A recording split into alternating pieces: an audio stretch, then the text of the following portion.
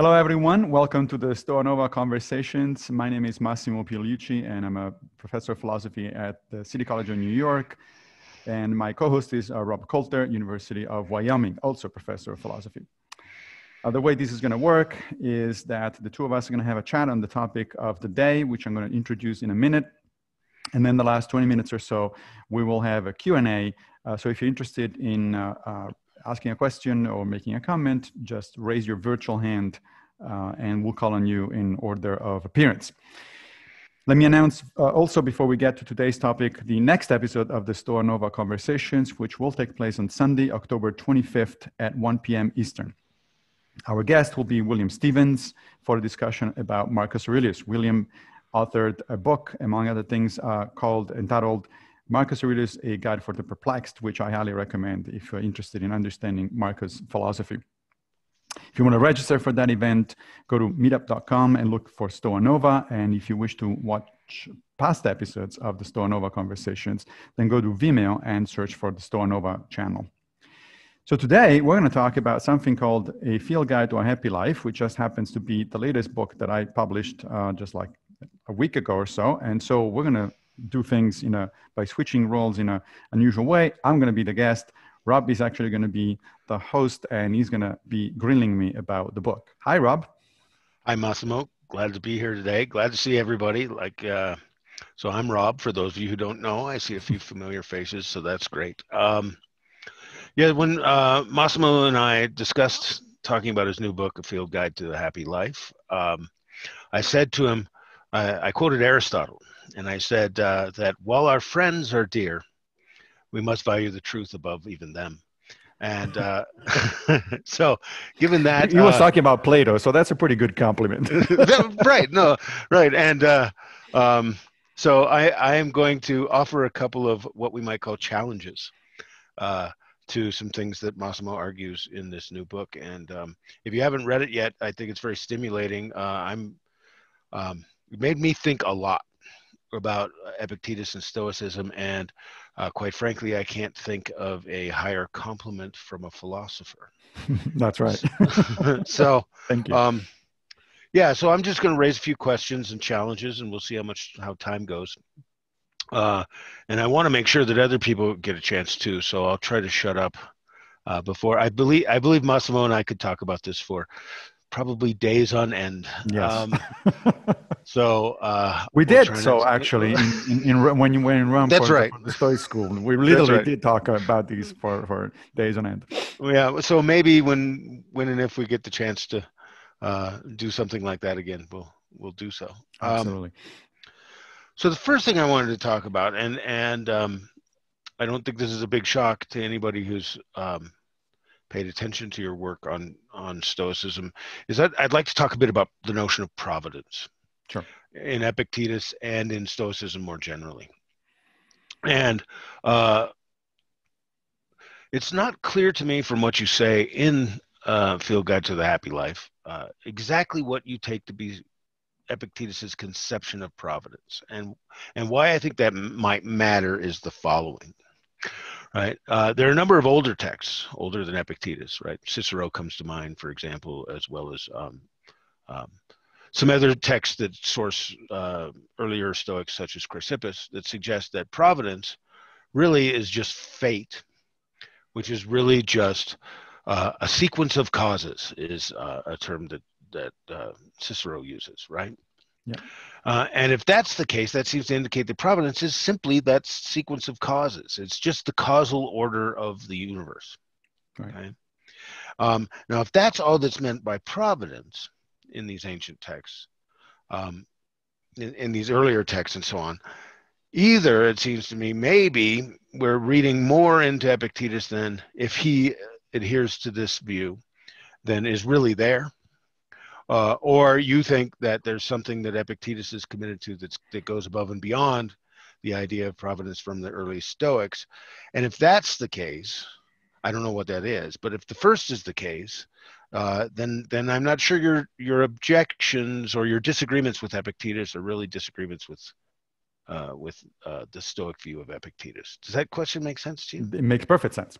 Okay. So yes, and uh, I think that the Stoics meant more than just uh, you know, the universal cause of, of, of uh, web of cause and effect when they talked about providence. They certainly did mean that too, no, no question about it. And so that one of the moves that a lot of a good number of modern Stoics have been making basically is to concentrate on that part, on that aspect. You know, when they talk about uh, fate being essentially the, the cause and effect everywhere, the laws of nature, you know, as we will call them today.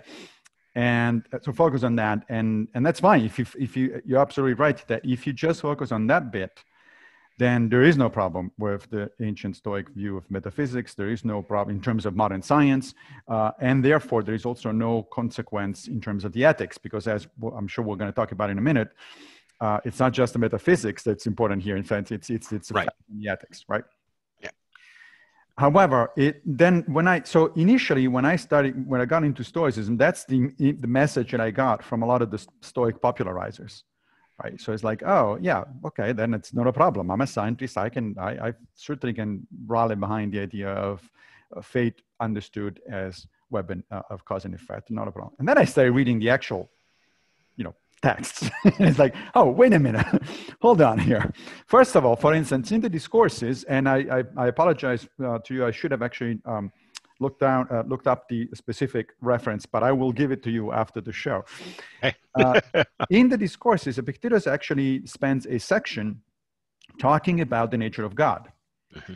And for all effective purposes, he deploys an argument from design uh, or we would today call an argument from design. Mm-hmm. Uh, and uh, in fact, he says things like, you know, the the the universe works uh, looks to me like a, a sword that fits the scabbard, right? Yep. So this is a classic sort of argument from design. That already at that point, that seems to me to go beyond just the notion of cause and effect because it hints very strongly at an intelligence in op- operating behind behind the whole thing. Can I in- yeah, of course pause right there? Yeah. Um, how does it hint strongly at an intelligence? It seems like uh, going to an intelligence from the claim that things like the sword that fits the scabbard, which I think is really kind of more of a biological metaphor um, hmm. uh, in this case. Um, isn't it the question of whether there's an intelligent designer, an inference from observations like that, rather than a presupposition of it? Uh, it is an inference, and but if you again, if you read that bit in the discourses, Epictetus comes really close to that difference. It, he doesn't make it explicitly. Okay. So if there were only that, then I was like, okay, mm, um, maybe mean he meant that, maybe it didn't. But okay. there is more. Now, there is, as you know, there is reason to believe that Epictetus, despite the fact that he actually made a number of innovations in, in his version of you know, Stoic philosophy, for instance, his view um, of, uh, he articulates a view of uh, role ethics that is novel. It's, it's different and, and more sophisticated than the previous one, which was due, was due to Panaetius, one of the Middle Stoics. Uh, so it does a number of things. He introduces the three disciplines of, you know, desire and aversion, action, and uh, and assent, which is not found in earlier Stoicism. But it, but for other in other respects, in many other respects, uh, the impression that modern scholars have of Epictetus is that he was actually a fairly traditional Stoic. He went back to right. Chrysippus. Right. Um, you know, even his, even the famous dichotomy of control. You know, some things are up to us and other things are not up to us. It's true that he did put it at the centerpiece as the centerpiece of his philosophy, but that one is found all the way back to the uh, to the early Stoics. So so piece of evidence, inconclusive evidence number one is he uses an argument from design, uh, which in my mind as a modern scientist goes a little beyond the simple observation that things are complex and they, you know, and that there is some order in nature. Then we know that he, uh, for other, for most other, in most other respects, Epictetus followed the ancient Stoics. Now, what did the ancient Stoics did? Well, I'm going to put, put forth two sources of evidence in the, I believe it's the second book of Cicero's uh, On the Nature of the Gods, there is a long discussion of what the Stoics think about God. And there, I think it's pretty explicit that they're thinking of it as a living organism endowed with reason. Um, not only Cicero mentions that all three of the of the early, um, you know, um, chiefs of the Stoa, as we might call them, so Zeno, the founder, Cleanthes and Chrysippus, all three of them actually use the argument for this, from design all, in, in, all three cases. And there are fragments that actually testify to all these things. And you know, we have to remember that Cicero, uh, like him, actually had access to the original texts. Right? He, he had read right. stuff right. that we don't sure. know an, anymore. Uh, that's why he's one of the major sources that we have today about, about this. But um, in particular also um, brings up a number of other arguments, and in fact, Zeno as well, some of which are pretty silly um, from a modern perspective. Like, you know, for instance, he says, well, so many people believe that there is a God, so there must be a God. It's like, wait, what? Wait a minute. that's, uh, that's a fairly obvious logical fallacy. But nevertheless, he insists that there, are, there is such a thing. And the way he describes the, uh, uh, the God, it really does seem to go very, very clearly beyond the notion of cause and effect. And Zeno, um, proposes the following argument. He says, well, of course, the universe is endowed with reason and is living because there are inside the universe living beings that are, that are endowed with reason. Now, is uh, the way he puts it, he's trying to derive a systemic property from the properties of elements in within that system. As we know, that's a logical fallacy, actually. Uh, you know, it's a fallacy of composition. You cannot do that. Uh, it, you can't go either way. It's not. It's simply not the case. It doesn't follow that because a system has certain property, each individual member of that system has those properties. For instance, a bucket of water is wet at normal temperature and pressure, but each individual molecule of water is not wet. And vice versa, you cannot go from properties of individual components to the properties of the whole. You cannot say that because the universe contains living organism capable of reason, therefore the universe itself is a living organism capable of reason.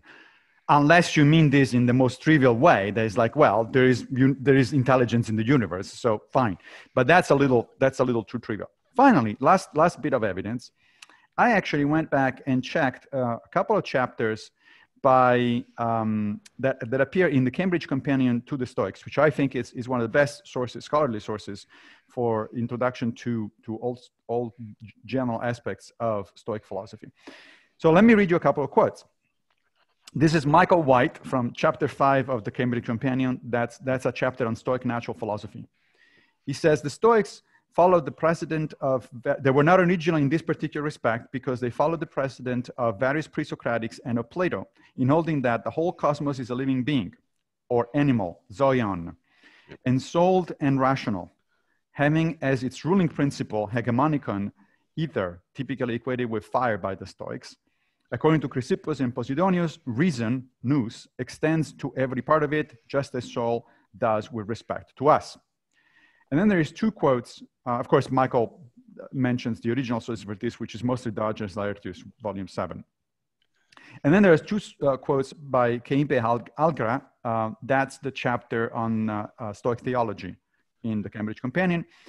And Algra says the existence of God involves the fact that he governs, or rather is, the cosmos, which explains why some of the proofs of the existence of God simply amount to proofs that the cosmos itself is a rational, ordered living being. And then Algra goes on.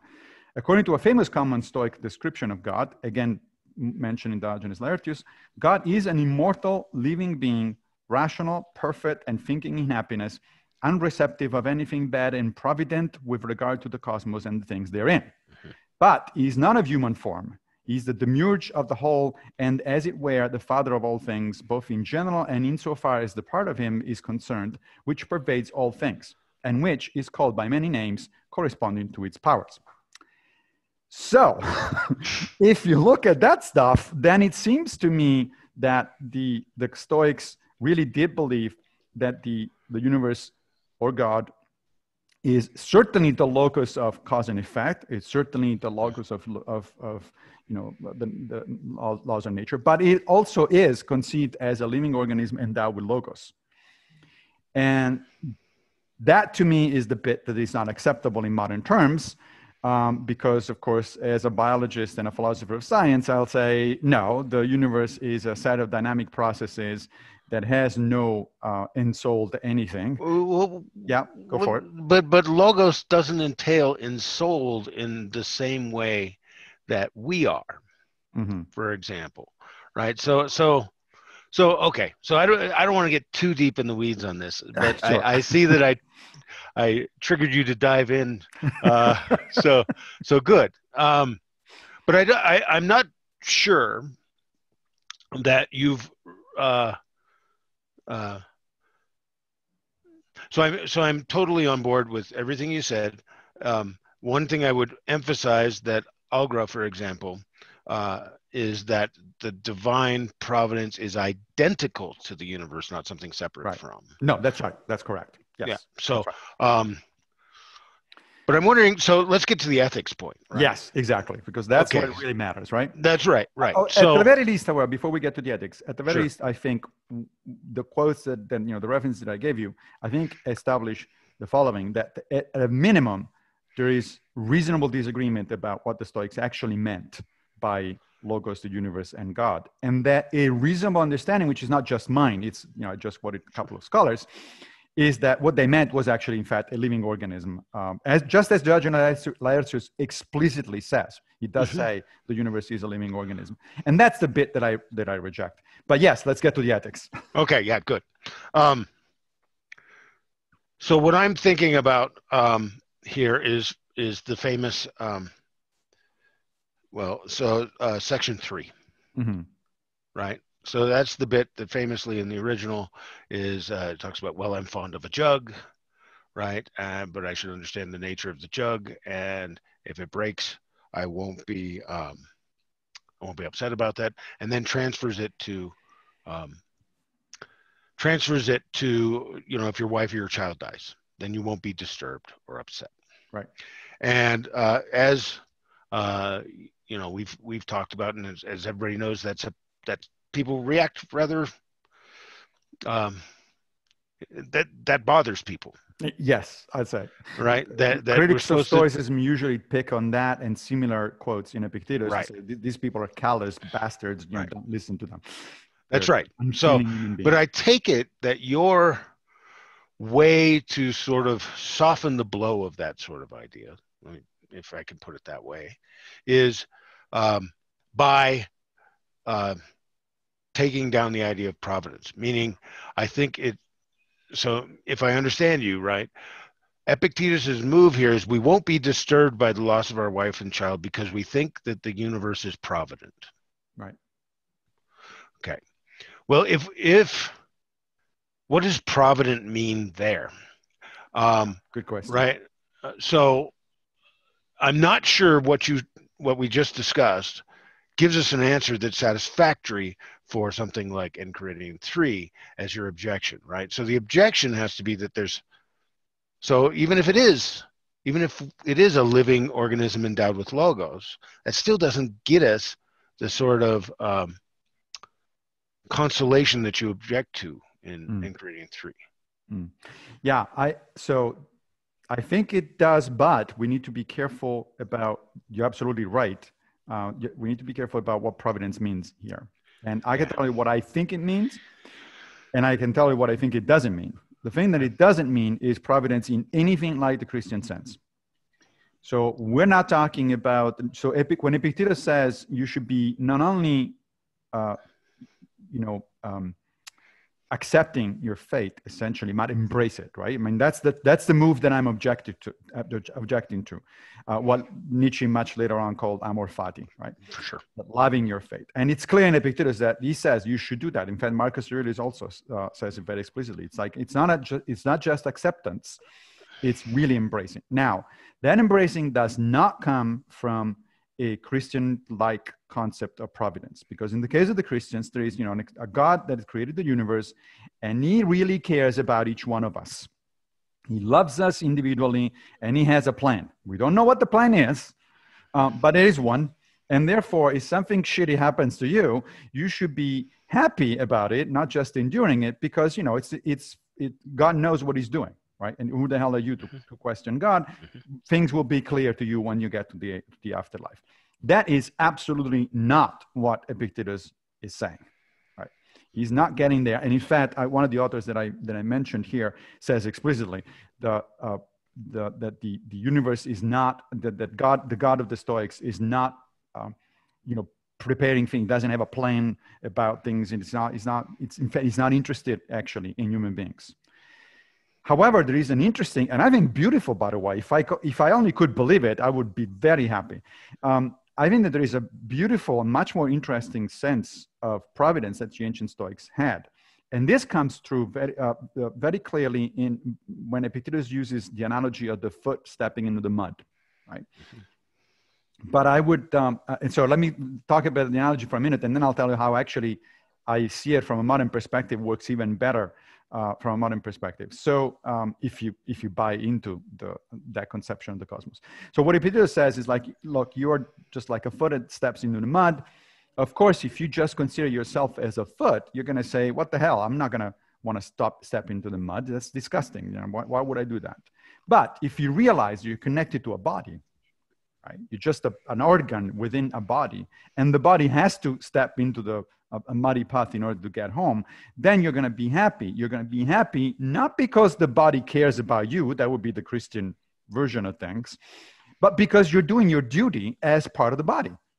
The you know you're a foot. What what is you're supposed to do? You have to walk.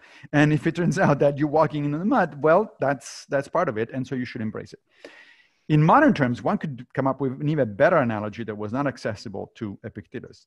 I think that the ancient Stoics thought uh, of the organ of the, the cosmos as a living organism with a body, you know, some, some analogous to a body, not literally with a body, but analogous to a body. And uh, we, we are the individual cells of that organism. Okay?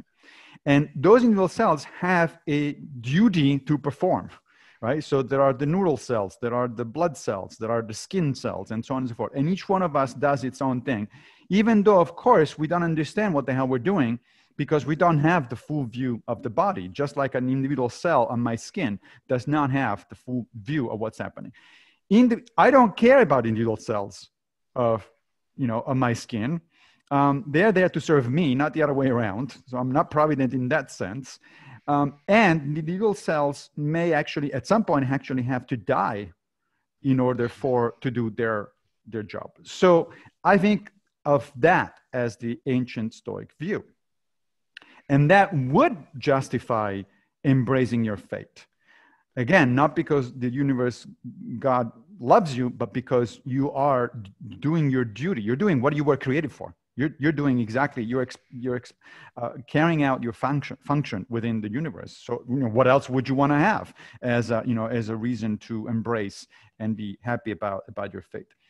Problem, of course, is that I think the analogy fails in terms of modern science, that there is, that is uh, you and I are not actually doing anything for the universe. We're not, we're not cogs in a machine that unless we work in a certain way, the whole thing is going to grind to a halt we are simply, uh, you know, the result of chance and necessity, as the, as the famous French biologist put it back in the 70s, uh, Jacques Monod. Uh, that is, we are the result of, of the workings of the, of, of uh, the laws of nature, that's necessity, and chance. Uh, you know, it could have been uh, just as easily that uh, I had grown up in Wyoming uh, or you grown up in Rome or you know whatever whatever it is. so we're just there for for random accidents of the universe. There is really no rhyme or reason basically to what's going on other than uh, that yes there is there are laws of nature and there is universal cause and effect. Right. So what I'm su- suggesting is that if you drop that analogy that Epictetus uses very nicely because you don't buy into these relation between the parts and the whole, then, then you cannot afford to have amor fati. You, you cannot because you know it doesn't make any sense for me to say. Uh, so I, I don't criticize, unlike modern critics, critics of Stoicism. stoicism I, not only I don't criticize Epictetus for saying things like, "Hey, you remember your child is mortal, and if he dies, try not to be disturbed," because from his perspective, that makes perfect sense he's not being callous at all, uh, right? It, it, makes perfect sense from his, from the perspective of how he saw the world. The problem is it doesn't make sense for me as a modern biologist, you know, scientist and, and philosopher. Therefore, if my child should die, I cannot say, oh well, let me not be disturbed by this thing because you know the, the foot had to, to cross the, mat, the, the mud. I would have to, I, I would be disturbed, but I would hope my Stoic training, my Stoic philosophy would allow me to accept what happened and to move on. So that's the difference. All right. Well, so I don't buy it. Okay. Um, Fair enough. um, and and let me just briefly say why. Um, and then we'll we'll maybe move on to something else. um, I don't think you need any of that for Enchiridion three.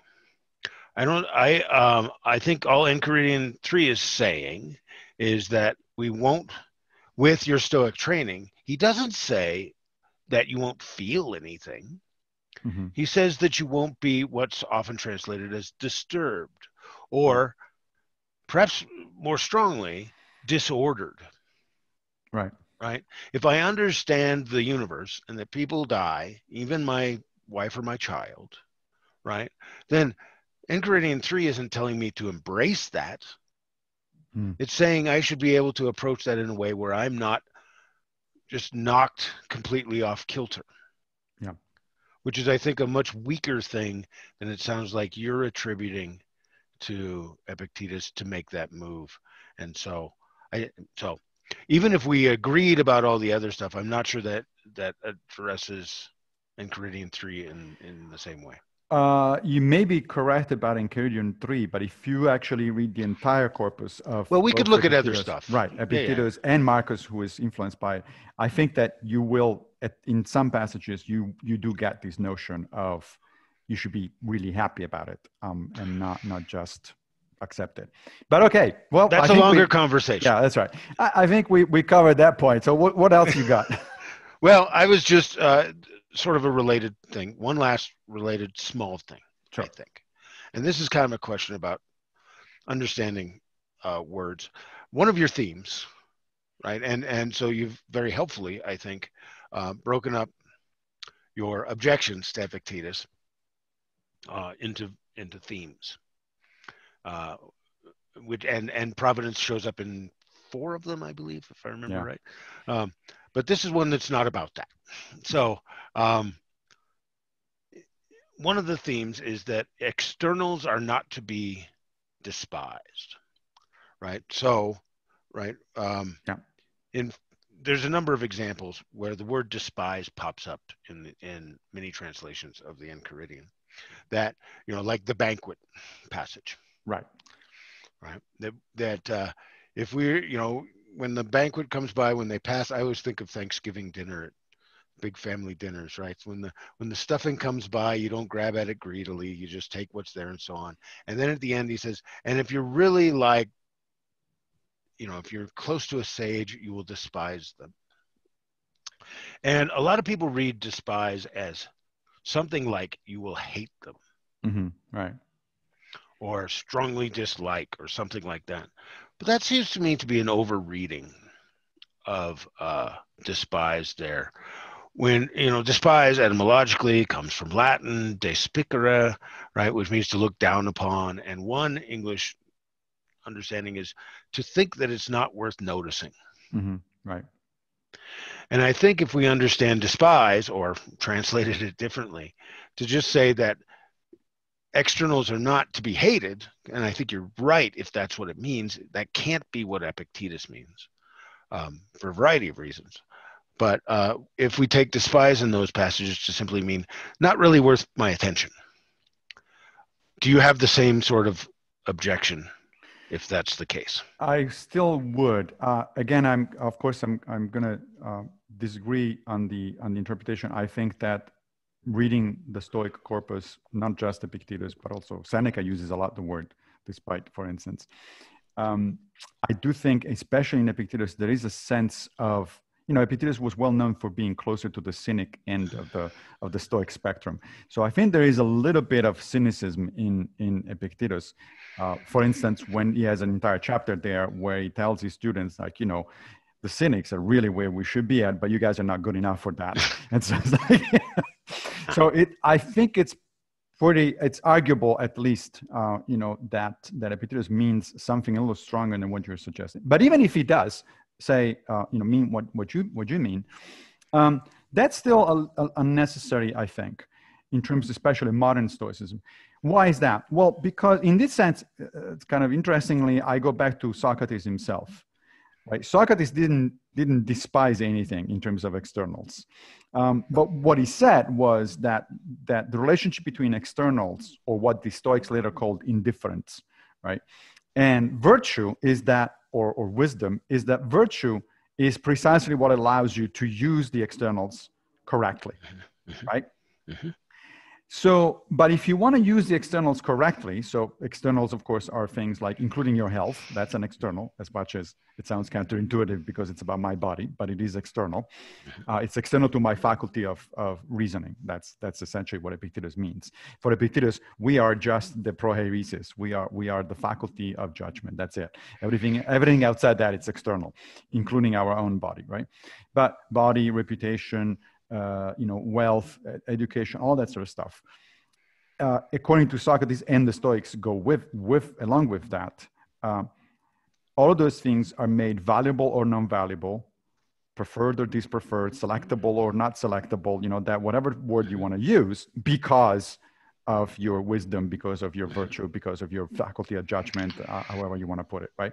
Well, but if that's the case, then it seems to me to follow that the so-called indifferent are not are not something that I can just let you know take or, or let go. It doesn't matter. It does matter because that's the way. Those are the tools through which I can actually live a life that is worth living, a eudaimonic life. Um, if I if I am a cosmopolitan like the Stoics are, then it follows that it's very useful to me to be educated, perhaps even to be wealthy, certainly to be healthy, and so on and so forth. And of course, to use those things in order to help fellow members of the human cosmopolis. So, in what sense are those things therefore not important? They, they actually are. They are still indifferent in the technical sense that they don't make me a better person or a worse person. In fact, it's the other way around. I make them useful or not useful depending on how I do things. Uh, does that make sense? Well, I'd still want to say that then on taken on their own, mm-hmm. they aren't worth my paying attention to. Right? They're only worth paying attention to when they're combined with my virtue. Absolutely. Or or, yes. or vice. Yes. Right. So I don't think that says anything about the status of the externals or not. Yes. But it, yeah. yeah. No, go ahead. No, that's that's correct. I mean, if you if you put it if you put it that way, that that's correct. But that isn't the the uh, feeling that I get from reading Epictetus. Uh, sometimes he really does talk about, no, you should really focus just on your prohairesis, just on your faculty of judgment. Well, yes, I should, absolutely. Right. But why? Um, it's it, I should do that, of course. So I part of the reason I put that thing in the in the field guide, that section in the field guide, is because I actually see a lot of modern Stoics or modern Stoic practitioners. Yeah, yeah going in that direction say oh no no no i'm i shouldn't be concerned myself with externals at all. I should be just focusing on my virtues. Like well what are you focusing on your virtue for? Um, that's so that you can use externals to make this a better world for everybody right? So that's right. what that's coming from. Yeah i get I, I, I get that as as a response to a way of understanding epictetus right. that's that's flawed. Um, but i'm yeah. So yeah. uh, we could continue this Absolutely. for a long, long time. And I want to make sure to give other people a chance to ask some questions. And and I think you have need... one more. Uh, Do you really want to have time? I think we should uh, we should discuss that last issue that you mentioned to me. Okay. Um, and then and then we'll open up to discussion. We have a couple of people lined up. All right. So the last issue is is one that I wouldn't consider an objection mm-hmm. uh, per se, although right how we answered it could be the grounds for such a thing, and that is. Um, how much updating of a sort of a school of thought can we do before it becomes unrecognizable as that school of thought right, right. so i mean you know somewhere between me sitting right here and my matter becoming a doorknob i'm no longer me right Correct. and uh, so the question of course is relevant to stoicism is how much do we have to hold on to to still be a stoic or to still be stoicism. And then you know and i'm thinking of course in other cases like um, on it seems to me a spectrum kind of possibility right? On the one hand it seems like one's a platonist these days if you uh, countenance the existence of any abstract objects whatsoever right? On the other end right? Perhaps something you might see in very sort of orthodox understandings of certain religions, right? You have to believe every proposition of this thing to count as one of them. Right. Um, so I wondered if you had any thoughts on how much is too much uh, as far as updating Stoicism. At what point might it become something not really Stoicism? Yeah, that's a great question, and uh, I'm going to answer it in two ways. I mean, to, on the one hand, of course, as you point out, this is a continuum. This, so, so it's very possible that there isn't going to be a sharp demarcation line there. Um, that at some point it becomes questionable. It's like somebody might say, no, that's no longer. In fact, we're already there. Um, there are a group of people that refer to themselves as traditional Stoics. Uh, Chris Fisher is uh, the one that, that comes to mind. Um, he's the most active in that group. And he basically says if you reject the notion of, of Stoic providence, then you're not a Stoic. If you're not a pantheist, you're not a Stoic. Now, I disagree with him, um, and and I told him a couple of times, in no uncertain terms, that I disagree. I, I think that's far too restrictive, far too conservative a conception of Stoicism. But never, nevertheless, your, your question is perfectly val- uh, valid because you know at some point, if you start dropping a bunch of stuff or re- reimagining a bunch of stuff uh, too much, then then you're only inspired by the Stoic tradition, but you're really not a Stoic anymore. So I can give you my take on where that where I would draw that line, and of course, people different people will draw the line differently. As I said, Chris Fisher draws it much more much earlier than I did than I do. I would say that uh, in order to be a Stoic, you so actually let me back up for a second here. Um, I think of philosophies of life, but in fact of any complex account of anything, including scientific theories. The way in which uh, Imre Lakatos, uh, one of the students of Popper, thought about it. He thought he was talking about scientific the- theories, but th- but then he expanded that actually also to mathematics, and I think it can be expanded to philosophy. He, he said, look, there is there is a core that a core set of notions, and if you do away with any of the core set of notions, you're not talking about the same theory anymore. You're not talking about the same account. And then there is a, what you call the protective belt. Protective belt are things that are logically connected with the core, but they are dispensable. They are revisable. They are, they are things that you can negotiate depending on, on external circumstances, depending on facts, depending on objections, and so on and so forth, right? Um, so the question, in other words, in, to put it in, in Lakatos, terms is well where's this, the core of stoicism and what, what belongs to the core and what belongs to the uh, to the protective belt i think the core is made at least of the following uh, number one virtue is the only intrinsic good or the chief good or however you want to put it right and the reason for that is because that is what about amount uh, what allows you to use everything else correctly okay um, that implies a distinction between virtue on the one hand and the so-called indifferents on the other hand, right? If you drop that, then you collapse either into cynicism, if you think that the, the indifferents are not valuable at all, uh, or into Aristotelianism, if you think that virtue is good, but you also need, need, not just prefer uh, a lot of other stuff, right? So that one is, I think, one is non-negotiable. If you drop that one, you're out, or you're out of Stoicism. Yeah. Uh, the second one is one that actually has happened before, even in early Stoicism, and that is the notion that of the three fields of, of inquiry, right? The, the logic, the physics, and the ethics. One of the things that I really like about Stoicism is that it attempts to be a coherent system, a philosophical system. And it, the, the ancient Stoics thought that uh, you, in order to live a good life, that's what ethics is about, right? Ethics is about it's it's the study of how to live uh, uh, uh, your life. In order to do that, you have to have a good understanding of physics, which of course meant physis in, in ancient Greek. That means nature. So, in modern terms, how the world works. Why? Well, because if you're in the mis- gross misunderstandings about how the world works, you're likely to mislive your life. You're gonna you're acting on bad premises, and therefore, even if you reason correctly, uh, as we know in, in, basic logic, if you reason correctly, but you start from bad premises, your conclusions are not going to be that good. And then, of course, the third one is logic, by which they meant also an expanded view of the term. They meant anything that is that that helps sound human reasoning. Why is that? Well, because if you have the facts right, but you don't think carefully about those facts, then you're going to again you, you you're risking misliving. As you know, some of the ancient Stoics themselves actually dropped the physics and the logic. And some of the modern Stoics are trying to do the same. At least uh, one At least one that we know of, right? yeah.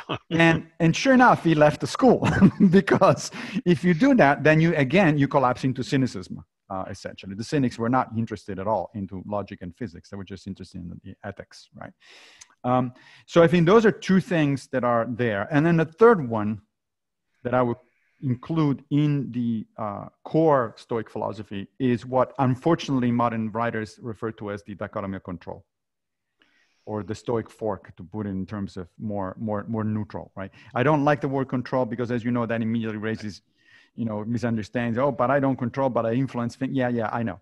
Uh, but that's not what we're talking. So meaning that there are uh, there is a very restricted uh, uh, sense of agency essentially one i think one good way of understanding that really understanding that kind of control is to say look your agency is far more limited than you think okay you don't control any of the externals you can influence them but you don't control them and in fact you don't control even most of your mental life uh, the Stoics, already, uh, the original Stoics already were aware of it. Seneca, for instance, says, you know, you cannot avoid blushing or you cannot avoid getting upset about certain things. Even the sage cannot avoid that, right? So they knew that some part of mental life is not under your control. Today, based on modern cognitive science, we know that a lot of mental life is not under our control, more than they even thought. What is in our control? The faculty of judgment. And the reason I'm doing this actually is because uh, I was looking just the other day at this thing. Uh, from a modern neuroanatomical perspective, one can make a reasonable argument that the faculty of judgment, what um, the hegemonikon, what uh, Marcus Aurelius calls the ruling faculty, is essentially uh, anatomically located in the, pariet, in, the, in the parietal lobes. And the reason for that is because, broadly speaking, the human brain works in this way. Uh, there are there is the frontal lobes, which are evolutionarily very recent, and those are where your, your rational thinking gets done, um, but not your decision making, your rational thinking. That's how you think logically about stuff. Then there is the amygdala at the back of the brain. That's where a lot of your emotional reactions come. Okay. And then there are the parietal lobes. And the parietal lobes literally have the job of integrating the, the input from the frontal lobes and the input from the amygdala and make you act on things. So your frontal lobes are where your prohairesis is, where your, hegemon- your hegemonikon is. And that's basically who you are. And that one I, I agree with Epictetus. That's, that's, that's it. So those three things I think are crucial. There may be more, but at the very least, those three things, uh, I think, define Stoicism at, a core, at the core.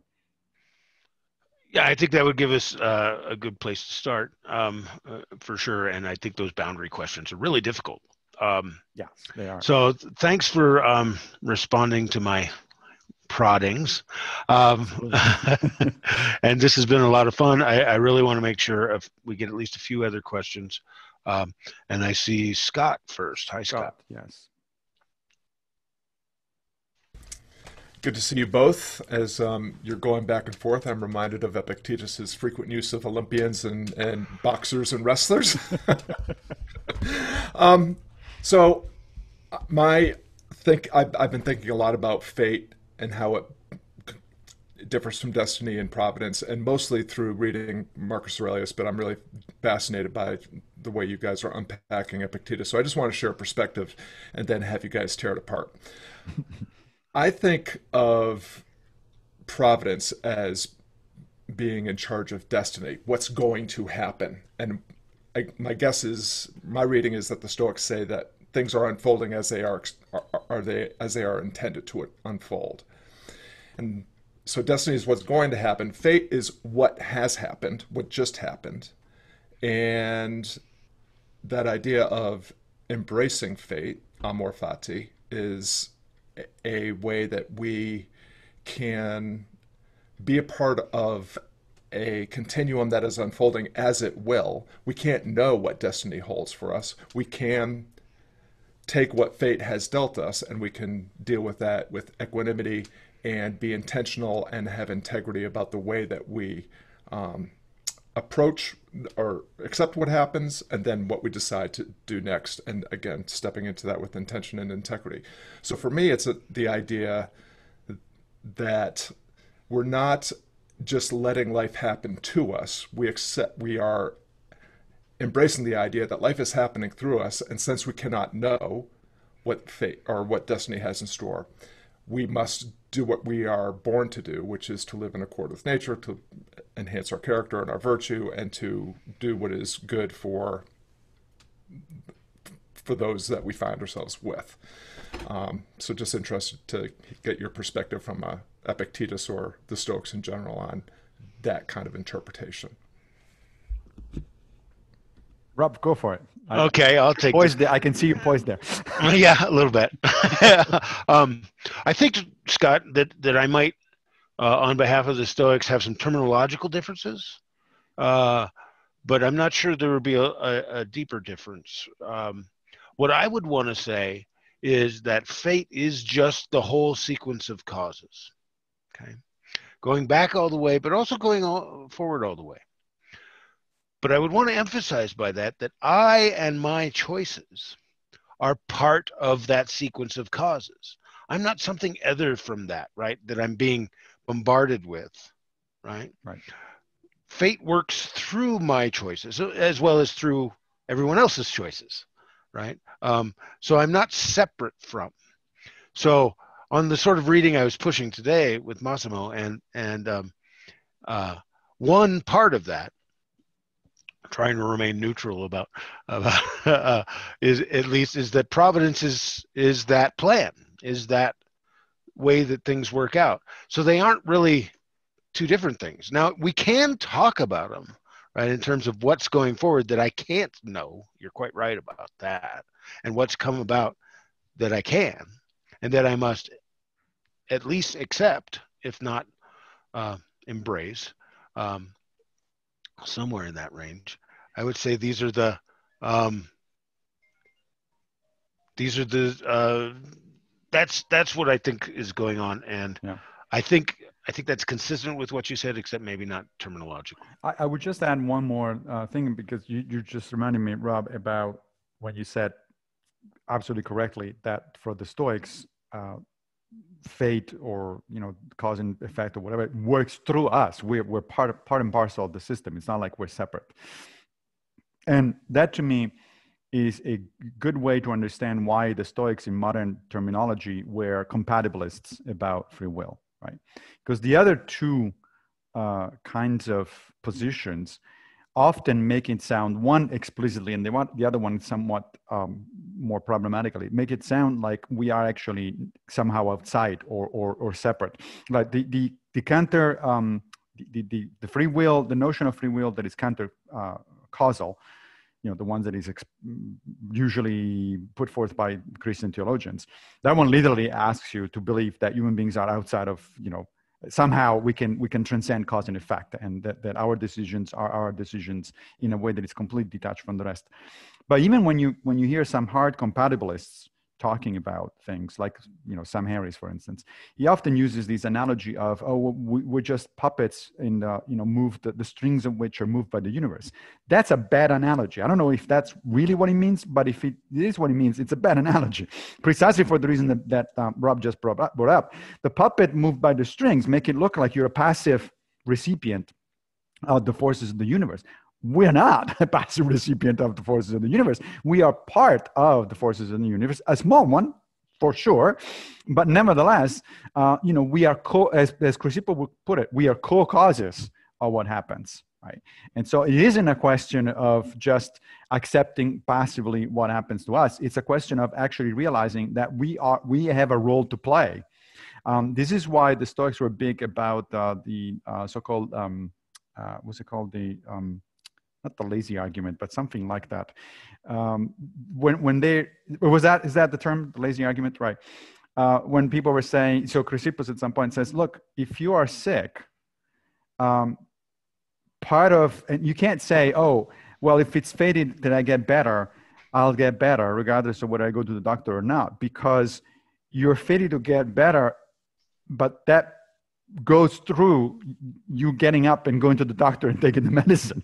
If you don't do that sort of stuff, then you're not going to get better. Uh, and you know you're a cause of these things. You you can't just lie there and wait for, for, for things to happen. That is the lazy argument. That's like you know you can't you can't do that. All right, next we got Bob.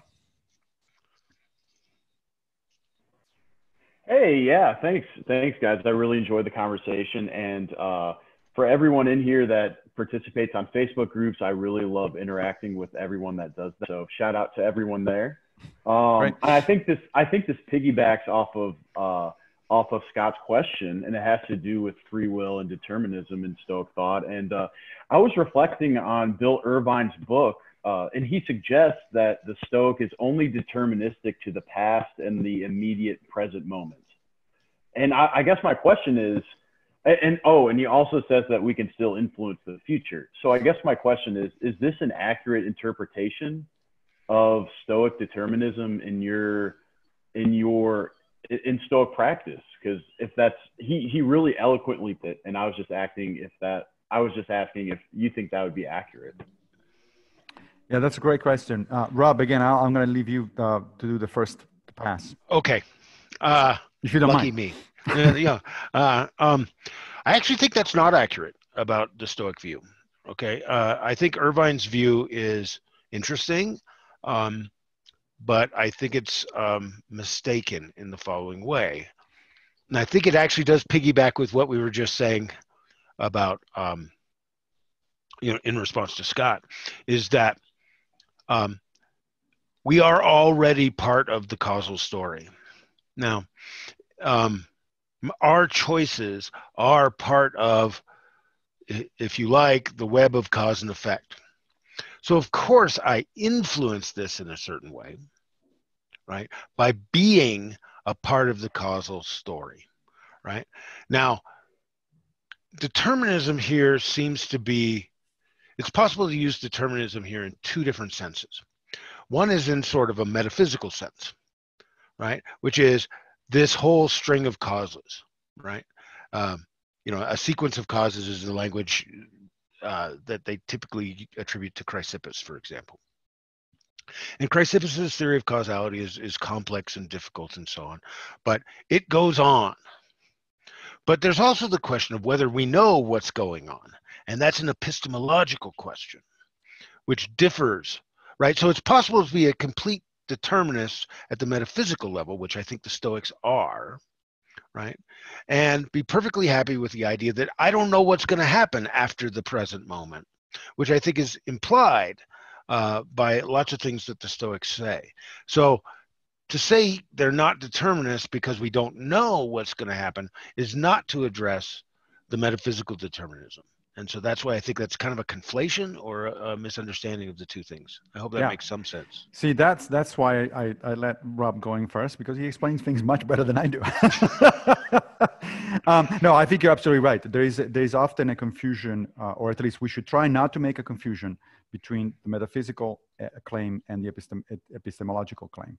Uh, yes, and the two are not incompatible, as you just as you just said. I, I obviously don't know what the future is going, uh, you know, has in store for me. Um, and in fact, I don't even know a lot of the past because I cannot reach a lot of the past, uh, epistem- epistemically speaking. But nevertheless, that doesn't mean that the past is not fixed. Um, and for the Stoics, right. that definitely the whole thing is deterministic. That's why, in fact, they're in a sense they're even more deterministic than modern most modern scientists are are, are comfortable with, because the Stoics believed in this um, complete cycle you know cycling of the entire you every everything that happens in the universe cycles over and over in exactly the same manner. The universe uh, it, you know uh, originates with this this big fire then then it ends with a big fire and then it starts again and it does it exactly in the same way which means that this conversation with you guys has happened infinite number of times and will happen in the future infinite number of times right? Modern my take on my understanding of modern physics is that a lot of modern physicists don't go that far although that interestingly the cyclical universe was a model in cosmology that was proposed in the 1950s and 60s but because of quantum mechanics and because of the, the notion that universes start out with a singularity, with a, with a quantum mechanical singularity, which therefore is essentially an unpredictable event, intrinsically unpredictable event, then each universe or each cycle uh, will actually go on its own, on its own, and it's there isn't going to be a, a repeat, an exact repetition of, of, things. So the ancient Stoics were even more deterministic, I think, than, than modern physics uh, would allow.